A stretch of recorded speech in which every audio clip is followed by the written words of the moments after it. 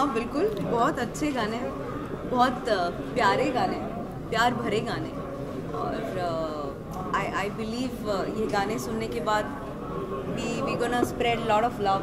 and we hope we manage to spread lot of love बहुत कमाल निभाने वाले हैं क्योंकि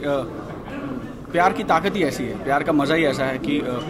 वो उम्र नहीं देखता, वो ज़ात पात नहीं देखता, वो धर्म नहीं देखता अमीरी गरीबी नहीं देखता। वो सिर्फ़ प्यार करना जानता। और ऐसी ही है हमारी प्यार वाली लव स्टोरी तो आई एम श्योर कि ज़िम्मेदारी हम पर है कि नहीं हम नहीं जानते, लेकिन हम पर जो ज़िम्मेदारी है, उसे हम बखूबी निभाने वाले हैं। देखिए, अब कोई भी फ़िल्म ना, मेरे हिसाब से हम लोग पहले ये शब्द यूज़ करते थे जैसे रीजनल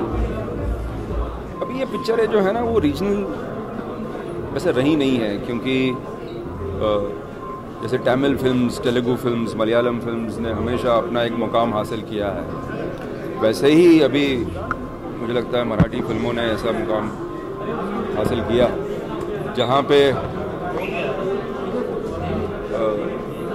हिंदी फ़िल्मों से कहीं छोटी इंडस्ट्री नहीं है ये, बराबर की इंडस्ट्री